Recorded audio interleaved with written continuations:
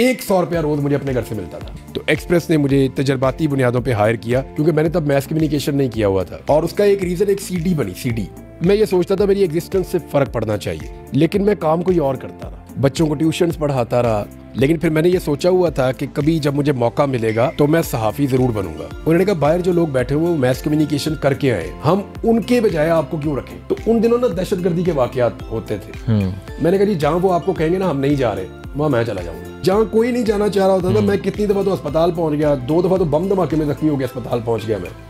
कई दफ़ा मैं गोलियाँ लगते लगते बचाऊं मुझे लगता है कि वहाँ मैं ज़ाया हो रहा था। अच्छा मुझे बताएँ शोबा सहाफ़त कब ज्वाइन किया क्या सोच के किया क्यों आए थे आप इस फ़ील्ड में? अच्छा इतना पीछे से आना है। हाँ जी इतने पीछे बिल्कुल बिल्कुल। अच्छा सहाफ़त। सहाफ़त यानी बहुत पहले मुझे लगता था कि ये बड़ा अच्छा शोबा है। और ये बात है सन 2001 की सन 2000 की ये तब की बात है। मेरे एक दोस्त हैं फराद अली राना हम्म। वो प्रोफेसर हैं और कॉलेजेस में भी और स्कूल्स में भी वो पढ़ाते रहे। बचपन के दोस्त हैं मेरे। उनके वालिद साहब दी नेशन में लिखते थे। मैं उनसे मुतासर था। राना लतीफ़ अतर साहब। ठीक है। तो उनकी शख्सियत से जब मैं उनसे बात करता था उनकी बात सुनता था फिर मैं देखता था कि इश्यूज़ के बारे में वो कैसे बात करते हैं। फिर एक सहाफ़ी का एक छोटा मोटा अपने आसपास इन्फ्लुएंस भी होता है हर सहाफ़ी का। मुझे वो भी अच्छा लगता था। तो मुझे एक दौर में यह लगता था कि मेरे होने से या ना होने से सोसाइटी पे, मेरे आसपास के लोगों पे कोई फ़र्क पड़ना चाहिए। कि अगर मैं मौजूद हूँ तो लोग कहें, जी ठीक है। और अगर मैं नहीं हूँ तो लोग कहें, जी, कि उसको होना चाहिए था या वो ये बात करता।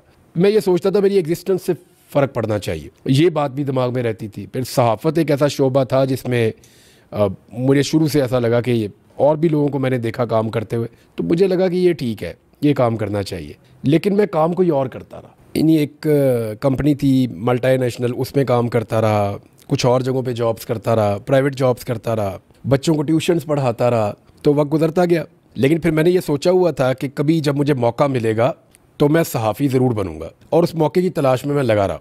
मैंने उस दौर में जितने भी टीवी चैनल्स हुआ करते थे या अखबार उस सब में मैं अपनी सीवी छोड़ छोड़ के आता था। कहीं मुझे नौकरी दे दें, नौकरी दे दें। इंटरव्यूज़ भी कई कई लोग ले लेते थे कि पूछते भी नहीं थे। अब मुझे याद पड़ता है कि जिन लोगों को मैं सीवी देकर आता था वो एक्चुअली बाहर कोई रिसेप्शनिस्ट वगैरह होते थे वही मेरा इंटरव्यू लेके मुझे वापस भेज देते थे। अच्छा। तो तब मैं बड़ा सीरियस होकर उनको इंटरव्यू देकर आता था कि शायद यहाँ मेरी बात बनने वाली है। तैयार होके तो जाना मैं मैं हाँ। साहब ही बन जाऊँगा कोर्ट में एक एक मेरा दोस्त था उसका कोर्ट भी मैं पहन के एक दफ़ा चला गया। ये जो मैंने एक्सप्रेस न्यूज़ में इंटरव्यू दिया था ना पहला जब मैं बाकायदा जर्नलिज्म में दाखिल हुआ 2007 में तो ये इंटरव्यू देने के लिए मेरे एक दोस्त हैं एहसन उनका कोट मैं पहन गया जल्दी में। ग्रीन कलर का मुझे याद है उनका कोट था और गर्मियों में मैं उनका कोट पहन के चला गया। और मैंने जाकर वो इंटरव्यू दिया था मुझे आज भी याद है एक्सप्रेस न्यूज़ में। मेरे एक दोस्त ने मेरी सीवी जमा करवाई थी और वही दोस्त जिसके वालिद साहफ़ी फराद अली राना उसने मेरी वो जमा करवाई थी सीवी तो एक्सप्रेस ने मुझे तजर्बाती बुनियादों पे हायर किया क्योंकि मैंने तब मैथ कम्युनिकेशन नहीं किया हुआ था। ठीक है। मैं लॉ कर रहा था और ग्रेजुएट था। बहुत सारी मेरे पास वो तो आ, आप वकील भी हैं? नहीं मैंने लॉ मुकम्मल नहीं किया। अच्छा मुकम्मल नहीं किया। वो साफ़ी जो बन गए फिर। ठीक है। फिर ज़रूरत ही नहीं रही लॉ अच्छा। मुकम्मल करने की। और वो कर भी नहीं पाया मैं हालात भी ऐसे थे। तो ऐसा पलटा खाया हालात ने। फिर मैंने बाद में मैथ कम्युनिकेशन भी कर लिया मास्टर्स भी कर लिया मैंने। मैंने तालीम साथ साथ अपनी जारी रखी। तो इसमें जब आ, मैंने वो इंटरव्यू दिया तो इन्होंने मुझे हायर कर लिया। और उसका एक रीज़न एक सी बनी सी हम्म। हुआ ये था कि एक मेरा दोस्त था मुआज़म उसका नाम था। ठीक है। उसके पास एक होता था हैंडी कैम ठीक है। उससे वो हैंडी कैम हमने लेकर जिसमें वो छोटी केसेट आती थी हम्म। इतनी सी डीवी आती थी उसको डीवी कहते थे। तो वो डीवी उसमें हम डालते थे और उसको बंद कर देते थे और उसको प्ले करते थे तो उसमें रिकॉर्डिंग होती थी। हम्म। अभी तो ये आपकी चिप्स है ना? जी। आपके पास ये चिप्स आ जाती हैं जो आपके मोबाइल फ़ोन में होता है वो क्या कहते हैं उसको? मेमोरी कार्ड मेमोरी कार्ड वगैरह आ जाते हैं हम्म। इसमें बहुत सारी रिकॉर्डिंग हो जाती। पहले ये टेप होती थी। तो ये तब की बात है 2007 की। तो मैंने वो टेप वाला जो डीवी कैम था वो मैंने पकड़ाया अपने भाई को। हम्म। और सड़कों के ऊपर मैंने एक प्रोग्राम रिकॉर्ड किया। ठीक है।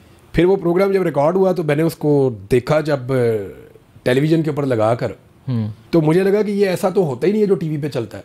हम्म। फिर मैंने कई लोगों से मशवरा किया तो मुझे पता चला कि इसकी एडिटिंग होती है। अच्छा। तो फिर मेरा एक जानने वाला था वीडियो गेम्स के अंदर वो मेरा दोस्त बना था वीडियो गेम्स खेलते हुए बचपन में।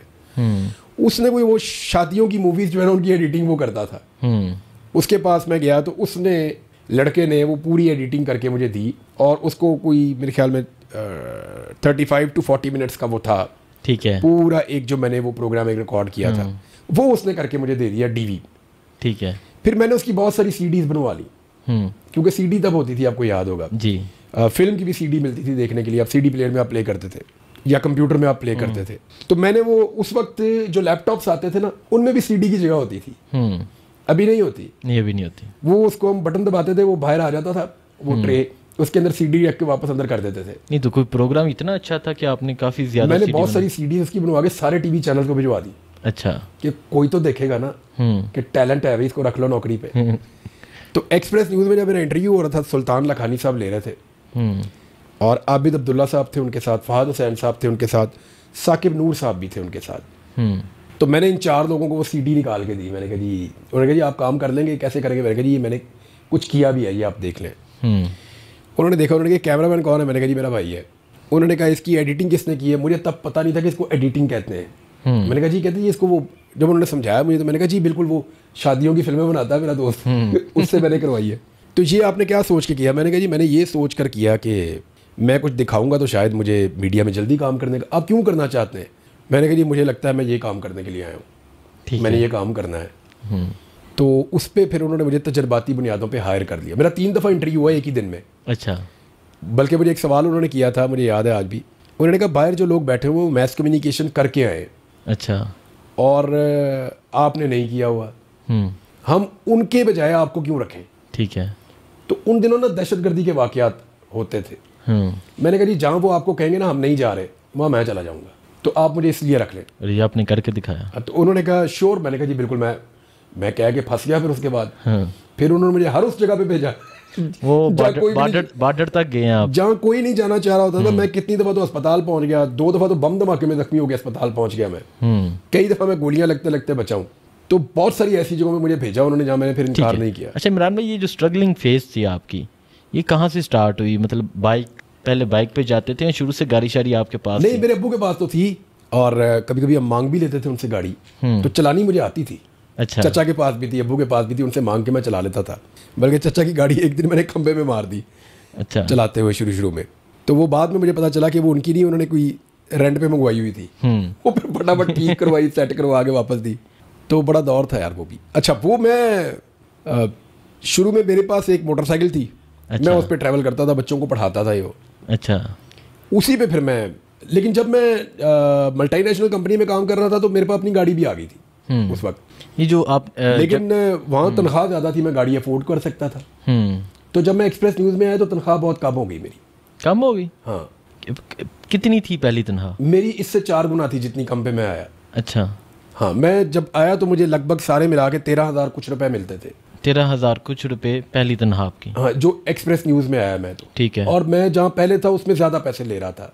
अच्छा। और उसमें मेरा फ्यूचर भी ये था कि मैं पाकिस्तान से बाहर भी जा रहा था और वो बड़ी नाइन टू फाइव किस्म की नौकरी थी कुछ करना ही नहीं पड़ता था। बस जाकर बैठ जाते थे। ठीक है। तो तनख्वाह भी ज़्यादा थी। तो वहाँ मैं अफोर्ड कर सकता था गाड़ी वाड़ी ये वो घूमना दोस्तों के साथ। तो ये क्योंकि नौकरी में तनख्वाह कम थी तो फिर मैंने मोटरसाइकिल के ऊपर अपने आप को शिफ्ट किया। हम्म। कि मैं इसको अफोर्ड कर सकता हूँ। मुझे काफ़ी लोगों ने कहा उन्होंने कहा तू अच्छी नौकरी छोड़ के पैसों वाली नौकरी छोड़ के हमने एक अजीब बेवकूफ़ आदमी देखा। मैंने कहा मुझे वो पसंद है मैं ये काम करूँगा। मुझे लगता है कि वहाँ मैं ज़ाया हो रहा था। हम्म। तो फिर मैंने यहाँ पे ये काम शुरू किया। शुरू में एक मेरे पास बाइक थी यामा वो अभी भी एक जगह पे खड़ी है। वो मैंने उनको कहा मैंने कहा किसी को देनी नहीं है। मुझे आपने वापस करनी है। तो कोई मेरे से मांग के ले गया था बाद में। हम्म। तो वो उन्हीं के पास खड़ी है अभी भी। अच्छा। तो वो एक यामाहा बाइक थी मेरे पास। वो अभी भी है। और वहाँ से मैंने आगाज़ किया था। मुझे एक सौ लीटर पेट्रोल नहीं पचास लीटर पेट्रोल मिलता था महीने का। अच्छा। और एक हज़ार रुपये का मोबाइल का बैलेंस होता था मेरे मोबाइल में। अच्छा। और तेरह हज़ार कुछ रुपए तनख्वाह होती थी सारी मैं कर देता था। एक सौ रुपया रोज़ मुझे अपने घर से मिलता था। वालदा को देते हैं वालद को? तनख्वाह तो अम्मी को देनी होती है ना। अच्छा अम्मी को देनी होती है ठीक है। तनख्वाह तो अम्मी के पास जाती है। अच्छा माशा और पैसे मैं एक सौ रुपया रोज़ में उनसे लेता था। ठीक है। और ये एक सौ रुपया रोज़ाना मैं लेता रहा हूँ सन 2018 तक 18 या 19 तक। अठारह तक एक सौ वो मतलब आदत बन चुकी थी कि सौ रुपया अम्मी से हाँ वो मैं अम्मी से सौ और सौ रुपया वो मुझे दे देती थी रोज़ाना। ठीक है। कभी ज़्यादा भी दे देती थी लेकिन सौ रुपया वो मुझे दे देती थी रोज़ाना।